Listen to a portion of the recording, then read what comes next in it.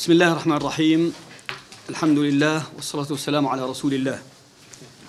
الزميلات والزملاء السلام عليكم ورحمة الله وبركاته.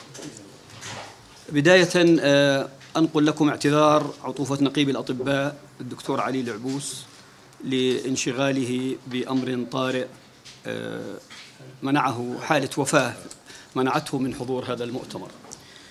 أرحب بكم جميعا. أرحب بالزميلات رئيسة وأعضاء لجنة الطبيبات في النقابة وبالزملاء الإعلاميين والزميلات آه، في نقابة الأطباء.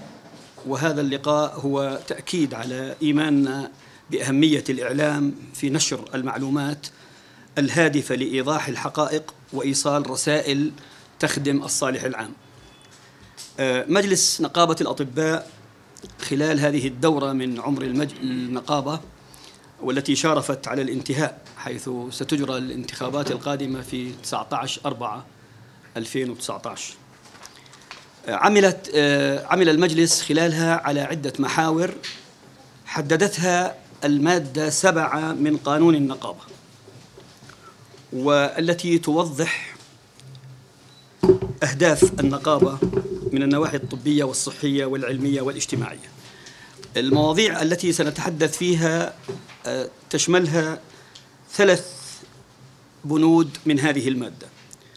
ألف رفع مستوى مهنة الطب وتنظيمها وحمايتها والدفاع عنها. واجب من واجبات النقابة.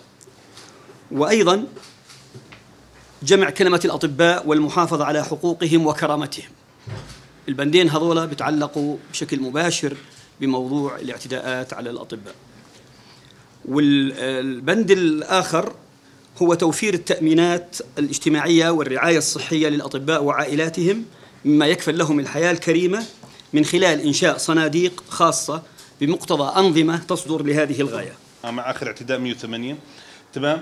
آه، مع مركزية الاعتداءات هذه اللي تردنا إلى مرك إلى إلى آه، لجنة الاعتداءات الموجودة في عمان والمحامي الم- ال- المكلف بمتابعة الاعتداءات في عمان.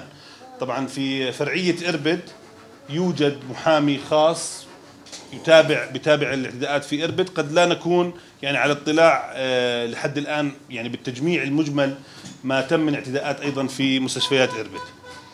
آه، المحافظات أغلبها بترجع لنا لكن إحنا بنتكلم عن فرعية إربد بالمطل بالهذا آه، كحالة يعني كحالة منفصلة شوي.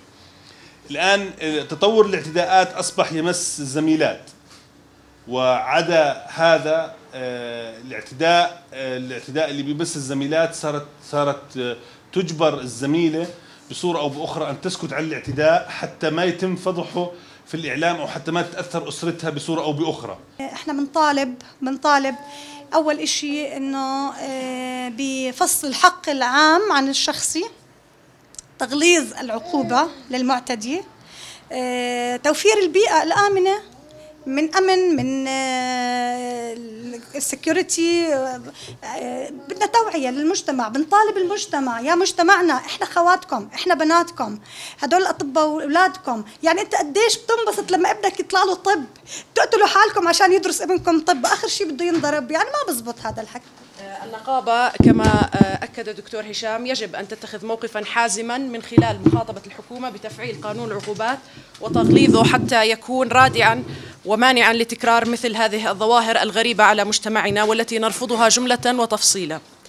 نحن مع تفعيل دور الحاكم الإداري وتغليظ العقوبة فصل الحق العام عن الحق الشخصي.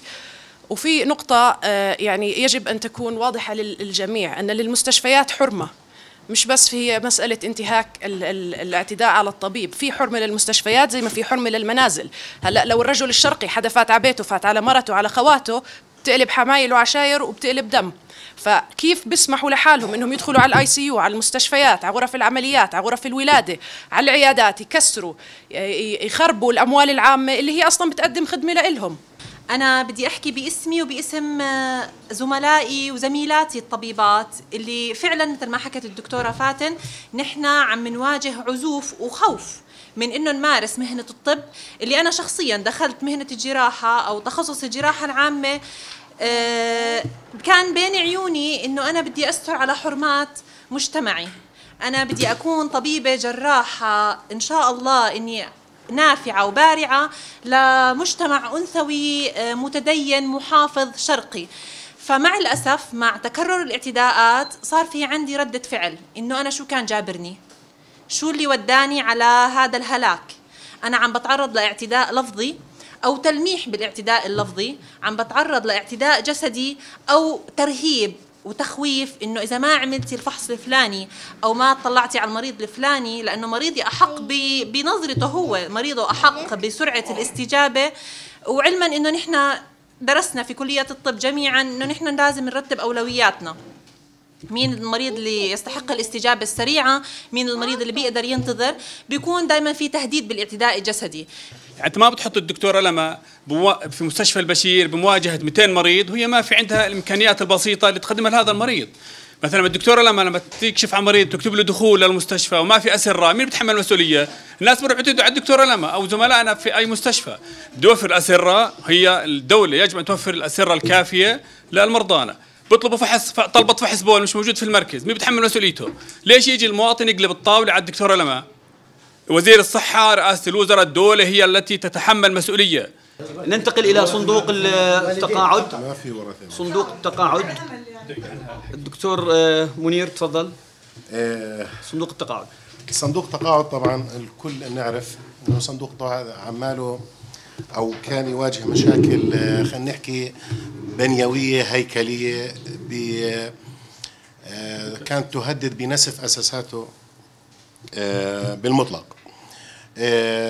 تاريخ صندوق التقاعد ممتد من البدايات خلينا نحكي لحد 2006 2007 اللي هي الفترة اللي بدأ فيها التفكير في المشاكل المستقبلية اللي ممكن يواجهها صندوق التقاعد. وقتها آه، انعملت دراسة إكتوارية على أساس أن تبين مستقبل الصندوق والطرق اللي ممكن اتخاذها لتجنب آه، أي مشاكل بنيوية بتمس هيكليته أو بتمس الغرض اللي صمم لأجله، وقتها كانت هناك عدة اقتراحات آه، وضرورية جدا آه، طالبت الدراسة اللي انعملت بال 2007 وقتها تطبيق الاقتراحات هاي. للأسف طبق بعضها بشكل جزئي ولم يطبق البعض الآخر. وبسبب الزيادة المضطردة في أعداد الأطباء المتقاعدين اللي ما كان يقابلهم زيادة في الإيرادات آه هذا الحكي عمل نوع من الخلل في المعادله اللي بتربط صرف الرواتب التقاعديه مع كميه الايرادات اللي بتيجي طبعا الخلل هذا آه، ادى بالفترة الاخيره إلى عجز الصندوق عن اعطاء بعض الرواتب التقاعديه. صندوق التعاون هو فكره آه، بدات بال 97 98 وكان مجموعه من الزملاء الافاضل اللي آه، شو اسمه أصحاب هاي الفكرة وقدموا هذا المشروع يعني والمجالس المتعاقبة من 99 لحد لحد 2019 يعني 20 سنة وهم بيحاولوا كان في أغلب المحاولات يعني أخفقت عن إقرار هذا المشروع. المشروع ببساطة أنه آه، يفيد آه، طرفين يفيد الأطباء في القطاع الخاص ويكون رافد جيد لصندوق التقاعد بمد بحياة صندوق التقاعد. الآن بشكل بسيط فكرة الصندوق هو الآن إحنا أطباء القطاع الخاص بنتعامل مع شركات التأمين. آه، بيكون عندنا اللي بحصل لنا المطالبات تبعتنا من شركات التأمين هي شركة تحصيل. تيجي تأخذ المطالبات من العيادة وتبعتها لشركات التأمين وبعدين شركة التحصيل بتجيب المطالبات بتعطينا بالع... بتعطينا إياها للعيادة. الآن إحنا بهذا الصندوق إحنا خلينا اللي بيجيب المطالبات لأطباء القطاع الخاص هي النقابة من خلال هذا الصندوق. صدر مؤخرا آه، نظام صندوق في صندوق خاص في المجلس الصحي العالي هو اللي بغطي آه، على آه، قضية الأخطاء الطبية. وصدرت أيضا صدر تعيين اللجنة الفنية العليا آه، وأدت اليمين هذه اللجنة. هذه اللجنة بتنظر في أي شكوى على خطأ طبي تصل إلها من القضاء تحول لهذه اللجنة الفنية. معها مهلة ثلاث شهور كحد أقصى اللجنة الفنية تعطي رأيها تستعين بأي خبراء بأي حاجة بدها إياها وتقول إنه في خطأ أو ما في. وهذا يعني أمر بنظم هذه العملية بشكل واضح آه تماما. في زملائنا في وزارة الصحة أطباء وزارة الصحة عندهم قضايا عديدة. تابعها مجلس النقابة باستمرار مع رؤساء الحكومات الحالي والسابق. مقابلات مع وزير الصحة الحالي والسابق رئيس الوزراء الحالي والسابق.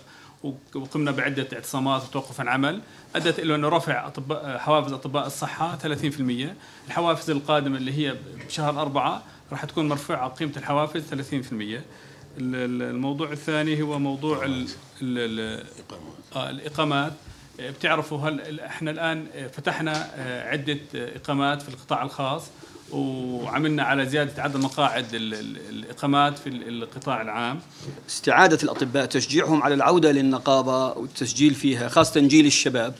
بالإضافة للبند اللي ذكره الدكتور اللي هو الإعفاء من الغرامات ساعدت كثير في عودة الزملاء. في أيضا موضوع القرض الحسن من خلال البنك الإسلامي أنه البنك الإسلامي بيعطي الطبيب آه، مبلغ وصله مباشرة شك للنقابة يسدد المبلغ المطلوب منه حتى يعيد عضويته ويقسط عليه بيسر بدون أي فوائد. وهي أيضا ساعدت.